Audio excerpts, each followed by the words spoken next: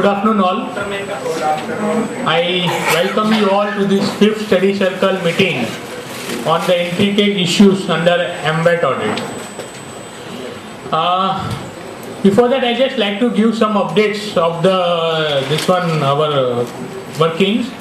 Uh, on 27th of November, we have met the Honorable Finance Minister along with my senior members, our senior members, and we have represented our uh, practical problems and day-to-day problems which we have been faced by the tax uh, practitioners. And I am also confident that he has given us a patient hearing. And uh, accordingly, a joint meeting along with the Honorable Finance Minister and Commissioner of Sales Tax is already been arranged after the completion of this winter session. And coming to the updates of the department, they are now very much in the mood to finalize the draft rules of uh, border check post. I think uh, regular meetings with all the associations, with LTUs have been taken up. Uh, on 10th of December this month, it was a meeting which was well attended by more than 120 of all the uh, consultants. Uh, only a, giving a brief idea, exactly they are trying to bring up a totally computerized border check post.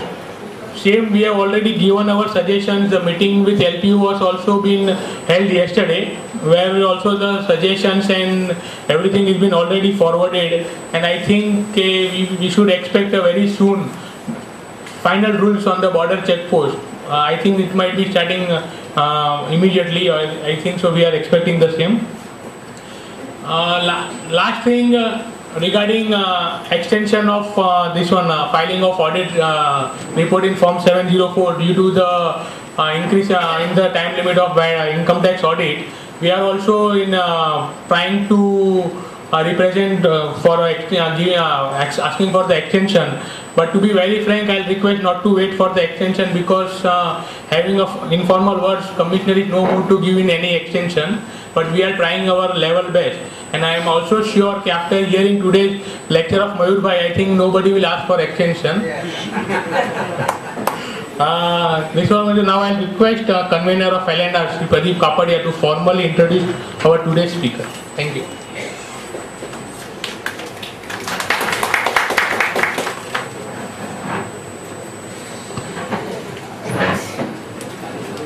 Presiding officer, the president of this uh, esteemed uh, association, uh, Sachin Gandhi, and all my brothers and sisters in the profession. First of all, good afternoon to everyone. Now, it gives me immense pleasure in introducing a person for whom I can say a person, a perfection personified, a person who does not budge for anything less than 100%. He believes that hard work beats talent when talent doesn't work hard. And he says always that there is no substitute for hard work. He is none other than the chartered accountant Mayur Parekh. And I, why I am saying, because I have gone through under his leadership and I have seen, that's why I say these words uh, with real confidence that he doesn't believe in anything below 100%. He has been the president of our esteemed association uh, in the year 2009-2010. He is a member of indirect uh, committee of uh, Chamber of Income Tax Consultant. He has written articles on VAT, works contract and in CST in sales tax review, review published by our association. Has written columns in our uh, sales tax review that is from the court published by our association and has also delivered lectures on BST Act, Works Contract Act and CST Act at various courses, study circle meetings conducted by our association as well as various seminar conducted by the Institute of Chartered Accountants of India and study circle meetings conducted by various study circles of WIRC of the Institute of Chartered Accountants. He has delivered lectures on VAT and VAT audit at various trade association as well as various seminars and study circle meetings conducted by the Institute of Chartered Accountants and our association and has written paper at our non-resident refresher course in Mumbai as well as the residential refresher course at Delhi and Calcutta and I'm really proud to announce that he was awarded as the best paper writer in our residential refresher course at Delhi. And he has won many awards such as the best, best speaker at the study circle meeting held uh, by our Sales Tax Practitioners Association in the year 2011 and 12.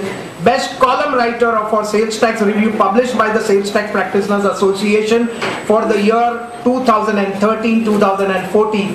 And just recently, I think uh, heads off, I think we have to take a bow. He was given that special appreciation award by our association in this year 2013 and 2014. And I think with this, I would request our president to offer a flower bouquet and a small memento to our speaker of today's afternoon.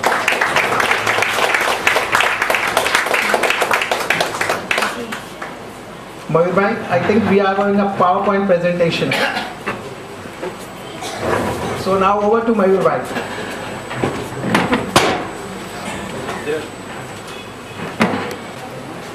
President of our association, Mr. Sachin Gandhi, convener of LNR, Mr. Pradeep Kapadia, office bearer, Mr. Sasank Don, Dinesh Tambre, seniors in the profession and fellow participants. At the outset, I would like to thank our tax practitioner Association of Maharashtra for giving me an opportunity to share my views on today's topic, intricate issues under VAT audit. Friends, normally I take this lecture in other forum as an interactive session. Normally I ask the question to the participants and after having feedback I give my view. But in this study circle because of paucity of time I will not do the same thing. I'll raise a query and myself will only give the answer. There might be chances you might be having some different view. It's a law. It's an interpretation issue. So my request is not to interfere at that time. If time permits, we'll definitely discuss after I complete my session because almost I have raised 53 issues and all these issues are not hypothetical hypothetical. It is all practical issues which i might have or you all of you might have come across while doing day to day practice while conducting audit. Some of the issues are in the basics nature. By cons- i have considered that basic issues by considering some of the members who are beginning in the practice. Now coming to subject proper my first issue is one dealer had opted for composition scheme for retailer in financial year 12-13. For financial 13-14, though he wanted to go for a normal scheme and based on that he has collected VAT from April 13 to September 13. But as per the provisions of law, he has to intimate to the department for change over the scheme before commencement of the new next financial year. But he forgot. At the time of filing of return, his consultant came to know that he has not uh, taken permission from the sales department for change over the scheme. Now, since he has collected the tax, what should he do? As per the provisions of composition scheme, as per the notification dated 1/6/2005, since he is under composition, he cannot collect the tax. Now, but since he has collected, if he don't have the permission, his tax would be forfeited. So what he should do? According to me, the via media is he should show URD purchase as on 1st of April 2005. Since under composition scheme is not permitted to have URD purchase, he has done the contravention, he will be automatically out of the scheme. And on the second issue, an unregistered dealer, M of Mumbai had imported goods worth rupees 1.10 crores and having no sales, whether liable for VAT audit under section 61 of the MVAT Act 2002. Here, if you remember, first of all, whether import is to be considered for taking registration. In my view, no. If you remember, under BST Act, those who were doing practice in BST Act, at that time, if you had one lakh uh, per import, whether you were in a position to get the number, no, because it was not to be treated as a taxable purchases. For that, you need to have 10,000 local purchase or taxable local purchase or local sales.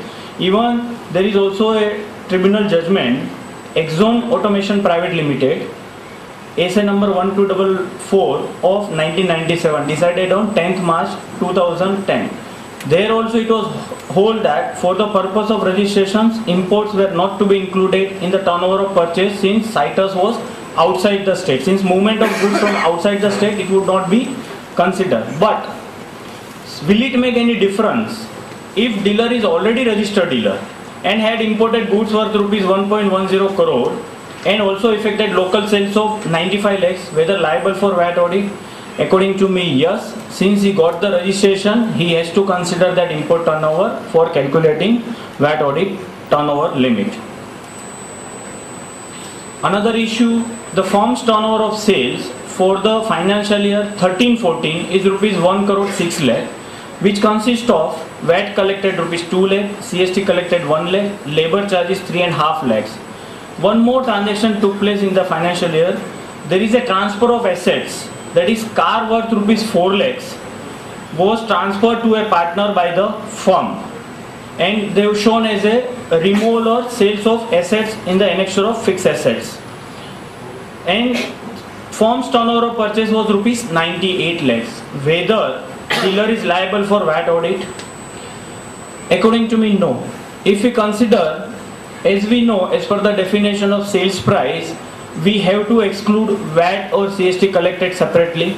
Labor charges are also to be excluded. So if it, it will from 1 lakh 6 uh, 6 1 crore 6 lakh when you exclude 2 lakh 1 lakh and 3 and a half lakh that is 6 and a half lakh that becomes below 1 crore. But regarding these 4 lakhs if you add you will become liable. But there is a direct judgment. One is under the income tax that is commissioner of income tax versus hind construction limited 83 itr 211 supreme court and our bombay high court judgment direct judgment synthetic supplier versus commissioner of sales tax mumbai 2010 30 bst 632 by virtue of that any introduction by the partner or any withdrawal by the partner from the firm will not be treated as a purchase or sales transaction. Hence the turnover rupees 4 lakh should not be considered for calculating turnover limit for VAT audit. A dealer in Mumbai ships, say SEZ, sends the goods to duty free shop. This duty free shop is having a place of business at airport, international airport. See what these SEZ units are sending the goods to the duty free shops, maybe local or maybe outside the Maharashtra state. But they have not charged the VAT or CST. And duty free shop maintain the details of passenger. And as we know, the passenger who will purchase the goods from duty free shop, he will board the flight. If that goods will never come to the states again. First question is whether VAT or CST is to be charged for the sales to such shop. And another is if yes, whether the shop can issue H form as uh, sale is made only to the passenger who will uh, board the flights and treated as export by the shop. So here there are two issues. One, whether there will be levy of VAT or CST for uh, in the case of sales made by SEZ unit to the duty free shop. Here I would like to draw your attention for notification number 1505 stroke CR 126 taxation 1 dated 1405 see uh, there is a notification pertaining to SEZ unit. If we'll refer that notification only certain transactions of SEZ units sales are allowed to be exempted. Like within the same area of SEZ sale made by one SEZ unit to another SEZ or sale by one SEZ unit of say Maharashtra to other state of SEZ unit are only being exempted from payment of tax. But this transaction of sales it is not SEZ to SEZ it will be liable for VAT or CST as applicable. Now regarding second issue whether since it's export sale in the course of export whether duty free shop can issue form H According to me, no, because these sales will be covered under section 5, subsection 1 of the CST Act. It's a direct exports. It is not covered under section 5.3 of the CST Act because there are no pre-existing orders, export orders on the hand of the hands of the duty-free shops against which he is purchasing the goods. So it's not a penultimate sales. So he cannot issue form H. A transporter having permit gives the trucks on hire to a company. Company employs his driver to run the truck. Hire charges collected are in excess of 1 crore for the financial year 13-14. Whether the transporter Hello.